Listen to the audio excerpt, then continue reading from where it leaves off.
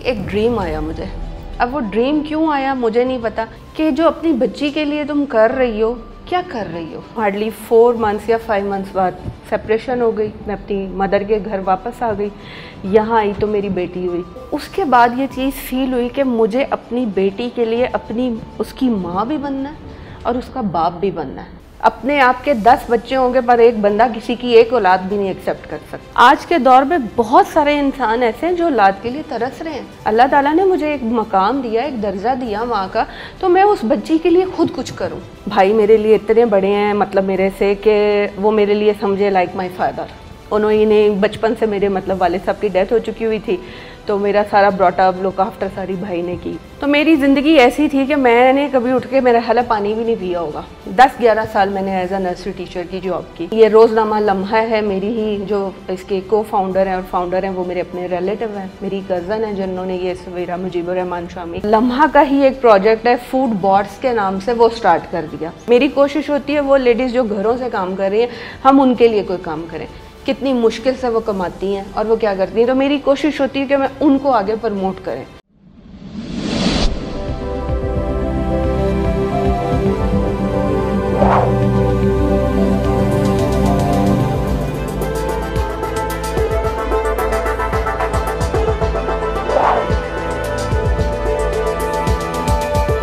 अस्सलाम वालेकुम नाजरीन शेयरिंग ऑफ़ प्रोफेशनल विजडम के साथ मैं हूँ अली रहमान खालिद। जो मेहमान आज हमारे साथ मौजूद हैं, इन्होंने अपनी ज़िंदगी में बहुत तकालीफ देखी, लेकिन उसके बावजूद इन्होंने हिम्मत नहीं हारी। शादी के चंद माह बाद ही इनकी सेपरेशन हो गई, लेकिन इन्होंने खुद जॉब की नर्सरी में बच्चों को पढ़ाया। इसके साथ साथ ये लम्हा न्यूज़ के एक प्रोजेक्ट में फ़ूड एंड बोर्ड्स के नाम से भी काम कर रही हैं। हम इनसे जानेंगे कि इन्होंने ये सारा सफ़र कैसे तय किया और वो ख़वातीन जो अपनी ज़िंदगी में मुश्किल देखती हैं उनको ये क्या मशवरा देती हैं और किस तरह से गाइड करते हैं? आइए इनसे मुलाकात करते हैं और जानते हैं। बहुत बहुत शुक्रिया किरण शामी साहिबा आपकी तशरीफ़ आवरी का। मैम आपकी स्टोरी बहुत ट्रेजिक भी है और एक होप वाली भी है कि आप सिंगल पेरेंट थी आपने अपने बच्चों को भी पाला और साथ साथ काम भी किया। इसके पीछे क्या मोटिवेशन थी क्या वजह थी? आपके साथ क्या हुआ था? कैसे हुआ मुझे नहीं पता। आ, इन शॉर्ट कहना चाहूँगी, एक ड्रीम आया मुझे। अब वो ड्रीम क्यों आया, मुझे नहीं पता। एक दिल में चीज़ आई कि जो अपनी बच्ची के लिए तुम कर रही हो, क्या कर रही हो? मतलब मुझे ना ये चीज़ बहुत बुरी लगती है, जो औरतों पे किया जाता है ना, हाय बेचारी, हाय ये। वो वर्ड मुझे ना मेरे कानों में ना गूंजता था। और मेरे ख्याल से मेरी, आपको मैं बताऊँ हार्डली फोर मंथ्स या फाइव मंथ्स बाद सेपरेशन हो गई। मैं अपनी मदर के घर वापस आ गई। यहाँ आई तो मेरी बेटी हुई।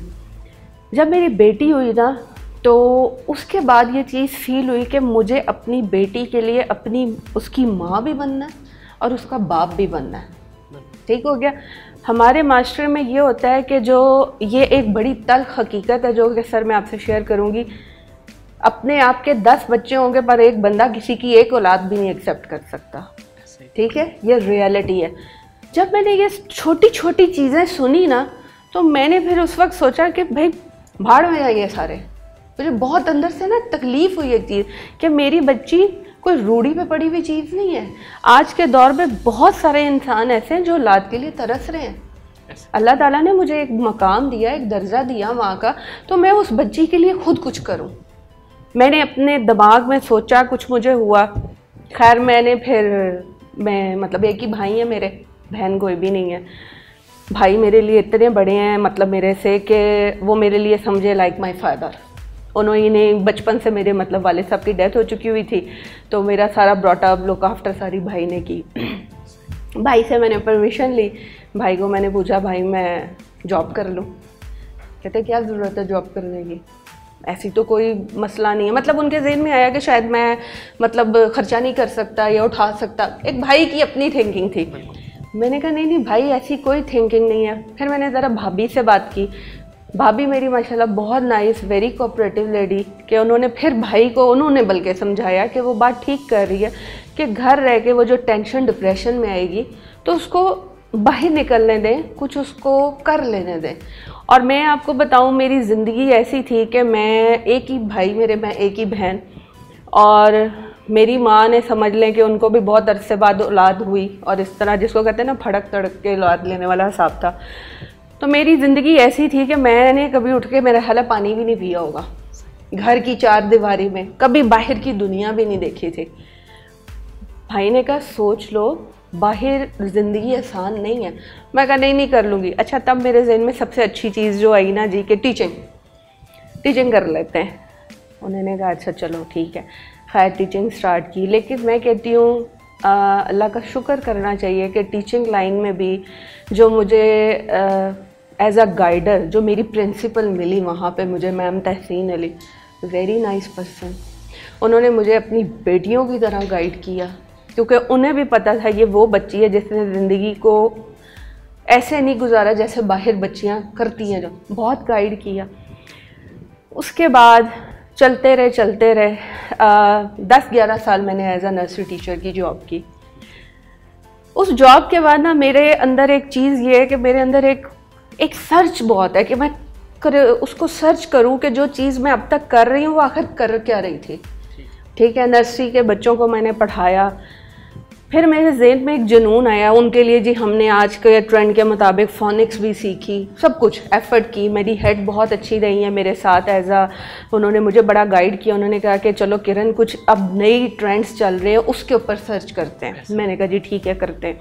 फोनिक्स सीखी फोनिक्स के साथ साथ और बहुत एफ़र्ट्स की। लेकिन अभी भी ना दिमाग में एक चीज़ थी कि ये जो मैं कर रही हूँ आखिर ये है क्या? देन अल्लाह ताला ने मुझे एक और रास्ता दिखाया मुझे G M C I global Montessori coaching institute, वहाँ पे फिर मैंने एज अ मॉन्टेसरी एडमिशन ले लिया।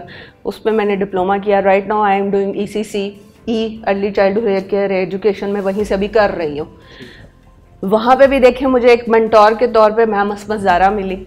वो एक और नई मोटिवेशन वक्त के साथ साथ मुझे बहुत अच्छे लोग मिले और उन्होंने फिर मुझे एक और चीज़ सिखाई कि जो हम ऐसे सिंगल मदर्स हैं ना आपका जो मेरे दिल में एक हाय हाय वाली बात होती थी वो सेम मैम के पास भी है।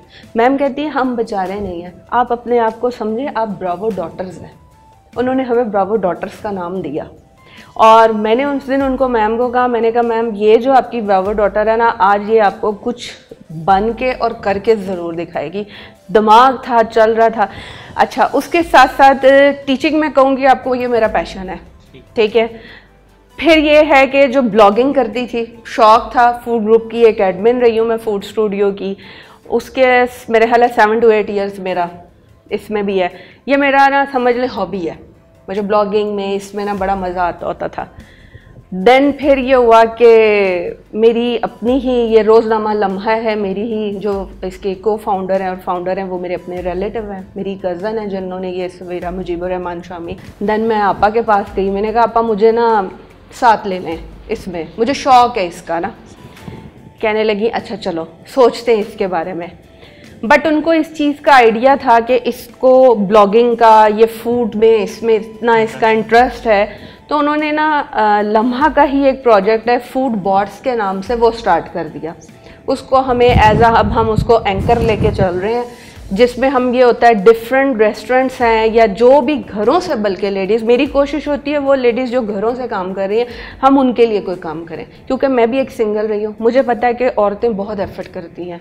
कितनी मुश्किल से वो कमाती हैं और वो क्या करती हैं? तो मेरी कोशिश होती है कि मैं उनको आगे प्रमोट करें।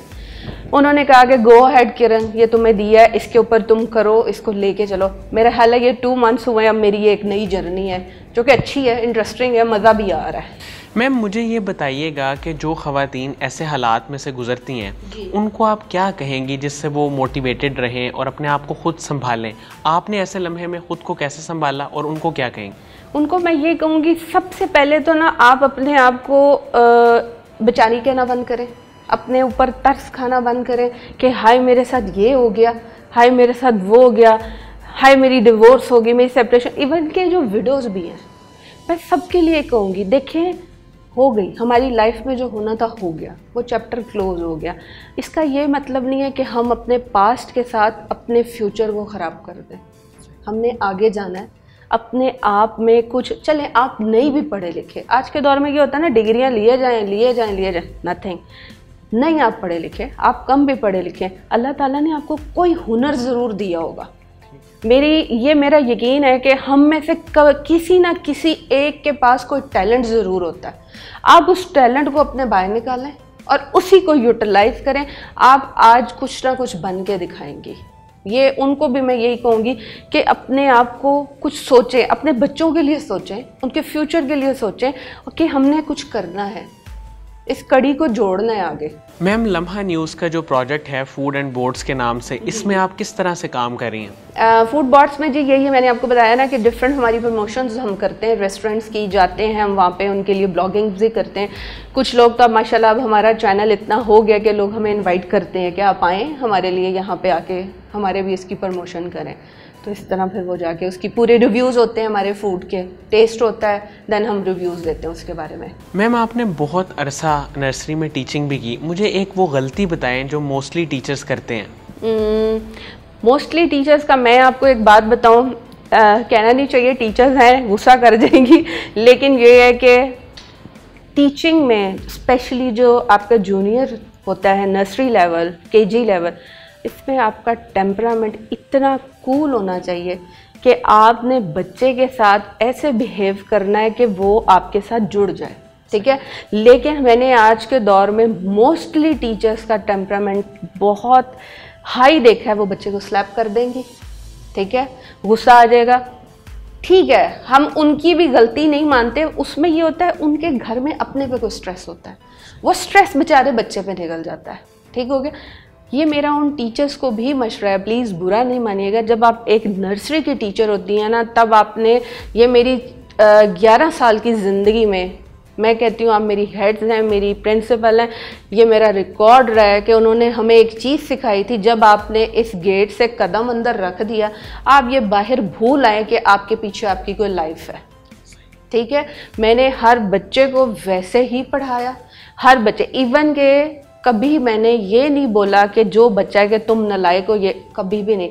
मैंने मोस्टली ये चीज़ भी नोट की है पे टीचर्स बोल देते तुम तो पढ़ ही नहीं सकते। हाँ मुझे बताए नर्सरी के बच्चे का क्या कसूर है? उसका क्या कसूर है? उसका कोई कसूर नहीं है। उस बच्चे को या टीचर पढ़ाएगी या घर में उसकी माँ पढ़ाएगी। उसने उसको करना है। और जब ये दोनों मिल जाती है वो बच्चा डायमंड बनता है। मैम आपकी ज़िंदगी में वो कौन लोग थे जिन्होंने आपको मोटिवेट किया हम्म। और आपको सिखाया कि नहीं तुम आगे ये काम कर सकती हो और आगे बढ़ सकती हो? मैंने जैसे आपको बताया ना कि सबसे पहले तो आ, मेरे घर से अगर मैं शुरू करूँ तो फिर भाभी। ज़ाहिर है उनको कुछ ट्रस्ट होगा तो उन्होंने मेरे लिए भाई से इजाज़त दी। और फिर उसके बाद भाई ने मुझे वाकई बहुत सपोर्ट किया मुझे हर मूवमेंट पे किया। शुरू शुरू में थी जैसे मैंने आपको बताया ना बिल्कुल कोई चीज़ सीखी नहीं थी, ये समझ लें, उठ के कभी पानी भी नहीं पिया होगा। बड़ी सख्तियाँ गर्मी में खड़ी, क्योंकि मेरी joining as a PTI teacher थी गेम्स टीचर तो ग्राउंड में मैंने खड़े होना, गर्मी भी लगना, आके रोना और बुरा हाल।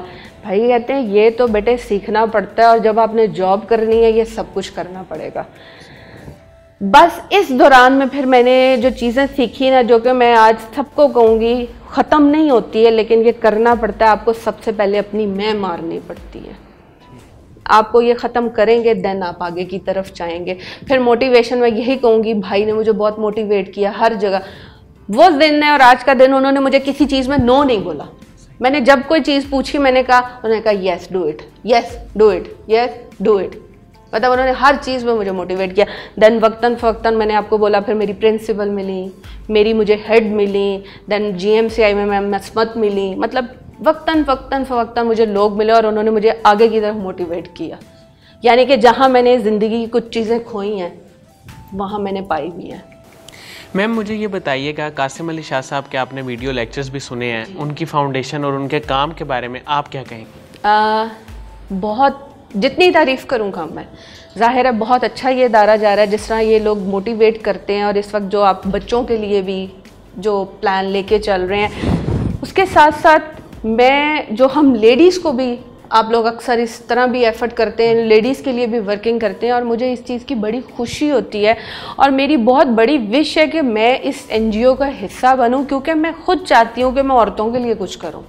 मुझे एक ऐसा प्लेटफॉर्म मिले जहाँ पे मैं औरतों की वो चीज़ आगे लेके जाऊँ कि भाई आप लोग अपने आप को कुछ बन के दिखाएँ कुछ करें। आपके अंदर कोई मोटिवेशन होनी चाहिए कुछ लगन होनी चाहिए ताकि हमने कुछ करना है अपने लिए करना है अपने बच्चों के लिए करना है। मैम आपके फ्यूचर गोल्स क्या हैं? सोचते बहुत कुछ है लेकिन सबसे ज़्यादा ज़ाहिर है मेरी बेटी। मेरा सारी जो कंसंट्रेशन है मेरा माइंड है सम टाइम मेरा दिल कर जैसे मैंने आपको बताया ना एक इंसान की ना एक अंदर लावा फटता है, क्योंकि ज़ाहिर है, पीछे मैंने भी बहुत कुछ देखा, मेरा दिल करता है उसके अंदर कूट के डाल दूँ सारा कुछ। लेकिन फिर मुझे याद आता है कि वो भी तो बच्ची है वो तो अपने वक्त के साथ साथ सारी चीज़ें सीखेगी।